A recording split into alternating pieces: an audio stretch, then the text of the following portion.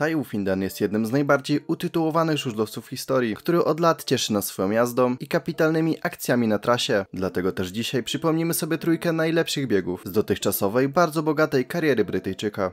W roku 2020 Tajski stoczył wiele znakomitych pojedynków z Bartoszem Zmarzlikiem. Jeden z nich rozegrał się w biegu półfinałowym drugiej rundy Grand Prix na Stadionie Olimpijskim we Wrocławiu, kiedy to obydwaj pretendenci do złota wymieniali się pozycjami na każdym okrążeniu. Każde wejście z krawężnika Polaka kończyło się przycinką Brytyjczyka, a każde wejście z krawężnika Brytyjczyka kończyło się przycinką Polaka. Jednak ostatecznie zawodnik Sparty Wrocław na ostatnim okrążeniu wybrał dobrą ścieżkę i po fantastycznym widowisku to on zameldował się na mecie jako pierwszy.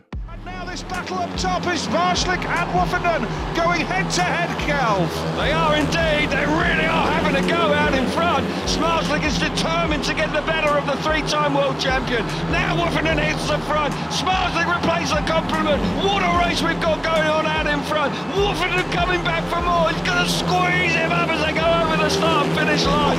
Smarslick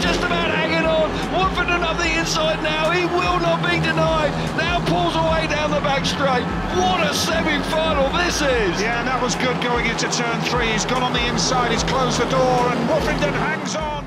Grand Prix Krsko 2015 układało się dla Taya Findena bardzo dobrze, jednak na starcie biegu półfinałowego został ograny przez dwójkę Duńczyków i musiał on wymyślić coś ekstra, żeby awansować do finału. Mimo, że słoweński tor nie sprzyjał walce i wszyscy trzymali się krawężnika, lider mistrza zdecydował się na jazdę za środkiem toru i w taki oto sposób budując prędkość i robiąc sobie długą prostą, zapikował pod Nilsa Christiana Iversena, a następnie w pogoni za trzema punktami wykonał identyczną akcję na prowadzącym Nikim Pedersenie, którego strzelił na samej kresce.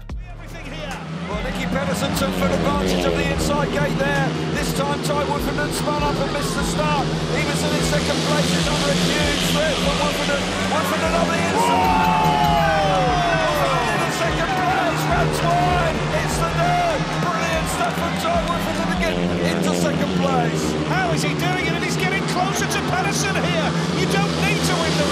the race. Woffenden, you can hold back here. Pedersen has the advantage. Woffenden is second, but he's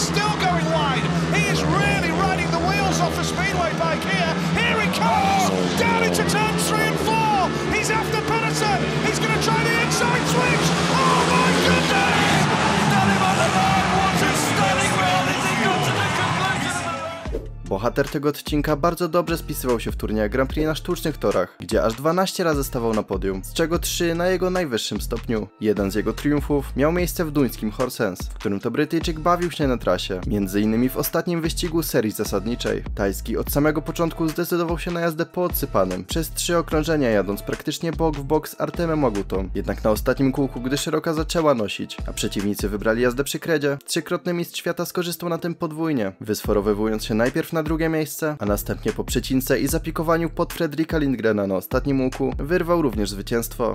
The the.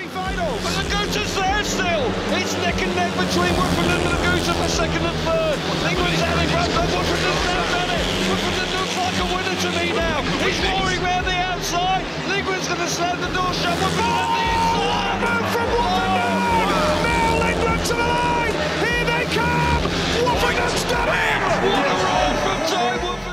A wam jakie biegi tajskiego najbardziej zapadły w pamięci? Dajcie znać w komentarzu.